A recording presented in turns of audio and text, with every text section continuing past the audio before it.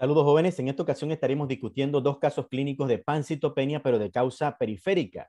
Recuerden que la pancitopenia es el concepto que habla de la disminución de las tres líneas celulares, leucocitos por debajo de 4.000, plaquetas por debajo de 150.000, hemoglobina por debajo de 13 para varones, por debajo de 12 gramos por decilitro para mujeres, y también se incluyen neutrófilos por debajo de 1.500. Ya hemos hablado de la pancitopenia de causa central, que es cuando hay afectación de la hematopoiesis por afectación sobre la médula ósea, y ahora estaremos hablando de las pancitopenias, pero de causa periférica. Las que son de causa periférica son condicionadas por dos causas principales, por secuestro esplénico, por hiperesplenismo y por fenómenos inmunológicos. El primer caso que vamos a discutir es de un paciente con cirrosis hepática que cursa con hiperesplenismo. El hiperesplenismo hace referencia al paciente que tiene esplenomegalia y ese vaso es hiperfuncional, secuestrando las líneas sanguíneas. Este es un masculino de 52 años de edad con antecedentes de etilismo crónico que cursa con síndrome anémico, ictericia escleral, coluria y datos de anasarca.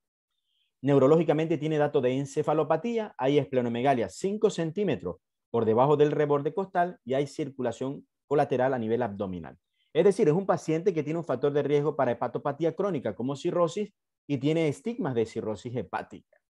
En el hemograma podemos observar leucopenia, tiene leucocitos por debajo de 4.000, tiene 2.250, tiene plaquetas en 26.000, tiene trombocitopenia, plaquetas por debajo de 150.000 y tiene hemoglobina en 11.2, plaquetas por debajo de 13 gramos por decilitro en un varón, tiene anemia, tiene pancitopenia.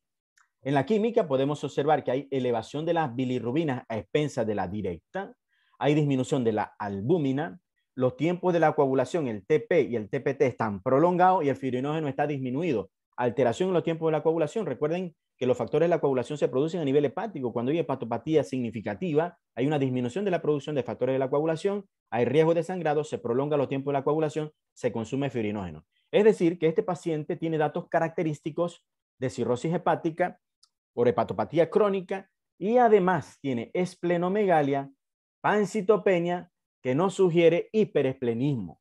En el ultrasonido se puede observar que hay lesiones nodulares a nivel hepático, subjetiva de hepatopatía crónica tipo cirrosis, y tiene datos de hipertensión portal, tiene dilatación de la vena portal, y además hay circulación colateral alrededor del hilio hepático. Todo esto sugiere datos de hipertensión portal que condiciona esplenomegalia y condiciona el hiperesplenismo que secuestra las líneas sanguíneas, secuestra leucocitos, secuestra glóbulos rojos y secuestra plaquetas. Este paciente no necesita estudio de médula ósea porque el problema no es central, no es un problema a nivel de la hematopoiesis. Es un problema por consumo periférico, por secuestro a nivel esplénico, por hiperesplenismo.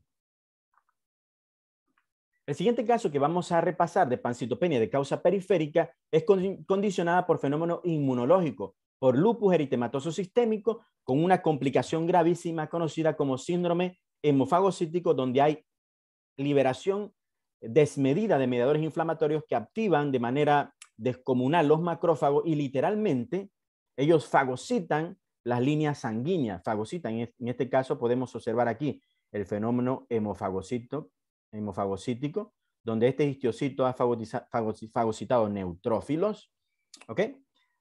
Incluso un normoblasto por aquí pareciera ser que está acá.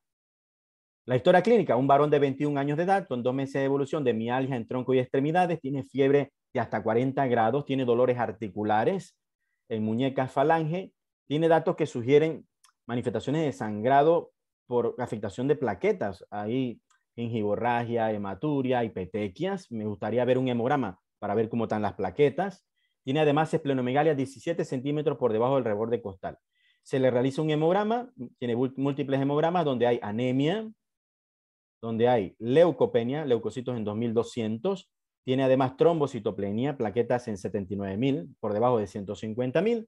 Tiene lesión renal, creatinina algo elevada. Tiene disminución de la albúmina, ferritina alta, por debajo de 500. Hay proceso inflamatorio tremendo.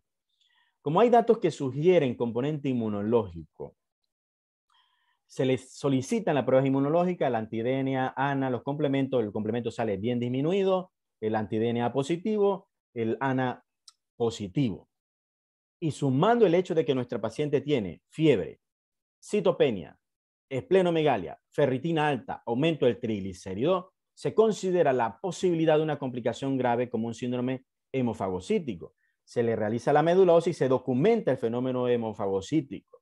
De una paciente que además se complica con eventos convulsivos tónico-clónicos, documentándose vasculitis, que, que, bien puede ser explicado por el lupus, pero también puede haber un componente de hasta, el mismo síndrome hemofagocítico. El paciente es tratado con pulso de metilprednisolona, ciclofosfamida incluso, y recibe hasta rituximab. Este sería un segundo caso de pancitopenia, pero de causa periférica por fenómeno inmunológico, lupus eritematoso sistémico, con eh, hiperactividad de los macrófagos en una entidad conocida como síndrome hemofagocítico, que literalmente fagocita leucocitos, glóbulos rojos y plaquetas. Saludos jóvenes, que lo pasen muy bien.